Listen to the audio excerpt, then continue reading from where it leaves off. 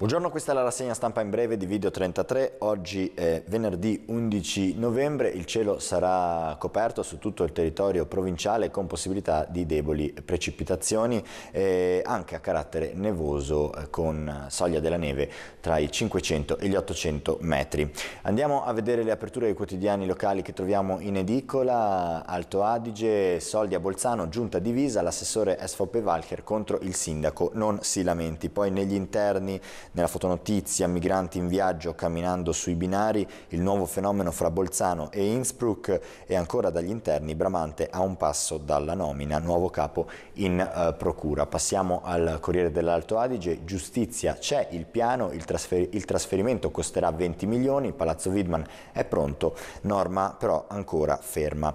Poi nella fotonotizia l'incontro all'università del presidente di Confindustria Boccia che sprona agli studenti creatività un valore, Lugli, patto, scuola, lavoro.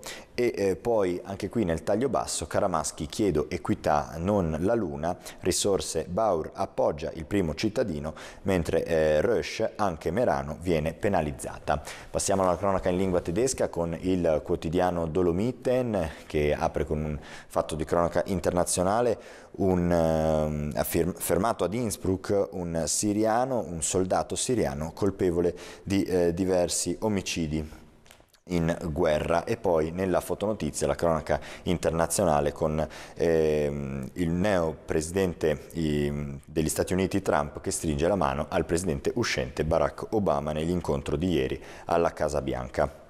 Andiamo ora alla Südtiroler Wirtschaftszeitung, il settimanale di carattere economico.